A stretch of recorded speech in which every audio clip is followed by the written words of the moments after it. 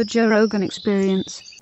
Yeah, it's made me a better Although, driver. Uh, one time, in a in a fight, in a martial arts fight, I knocked this guy out. He never got up, and I I started thinking that that could be me because they, they took him away to the hospital, and uh, I went back to talk to my instructor, and he wasn't there. It was in Anaheim, California, and I was living in Boston. We flew back to Boston after the tournament. And he, uh, he said to me, "I heard you had a really good knockout," you know, with his thick Korean accent. And uh, I said, "Yeah." I go, "It was, um, it was really scary because he never got up." I go, "I mean, it was, I thought he was dead." And he goes, "Sometimes they die." Jesus. And he just walked away. Like he used to train troops in Vietnam. Like he was like an intense guy. And I was like, "Sometimes they die." Holy shit! I'm them. Them is me. Whoa. Like I could die.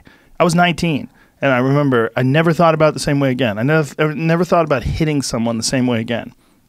Because it was one of those, but like sometimes you hit someone and it's like a perfect shot.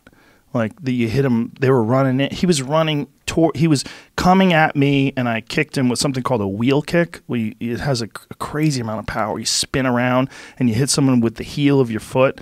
It's a hard, my heel hurt for days. Jesus. I was limping, walking from hitting his head.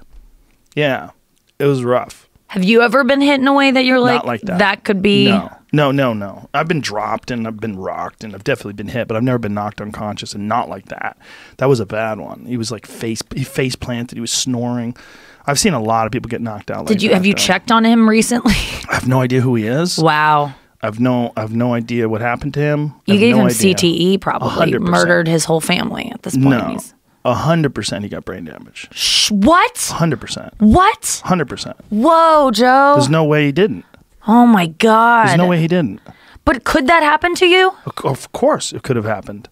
Absolutely. I Could it happen to you now in the way that you're fighting? I don't do it anymore. I do jujitsu now. Right. But it, jujitsu is not striking. Jujitsu is not. It's not like kick, kick. And this was not like sparring. This was a fight. This was in the U.S. Nationals. Mm. Wow. I was the Massachusetts state champion, and he was a champion. I think he was from Illinois, and so he was the Illinois state champion. Did Yeah, you get like so much pussy back then from being like from winning fights? Were there like No. groupies? No, there was no groupies. No. No, I got the opposite of pussy. I was always training. I, I wasn't doing Oh, anything. yeah. Yeah, I wouldn't even have sex with my girlfriend in the the, the dojo. I wouldn't like she I Because would- it was 'cause I sacred yeah, I and was- I was teaching there, so like once she was horny and she was trying to hook up with me. you know, like I was, I had to go up there to do something and clean or something. I forget what I had to do, but she was trying to. hook I'm like, I can't. like, don't. Like this is not. We can't do this here. Like this is not. This is never gonna happen here. Which is like I would fuck her in an alleyway. I would have fucked her on a bus if no one was looking. But not in the Yeah, dojo. Not there. No. It's actually in Korean. It's called dojang. They would call it dojang. But um, no, I didn't get any pussy. I mean, other than my girlfriend at the time. And then when you start comedy, like so much, yeah, dude, That it's was- crazy. that was the crazy thing. It's like like all of a sudden girls actually like me. Like instead of me liking them and them rejecting me, because I was basically a loser.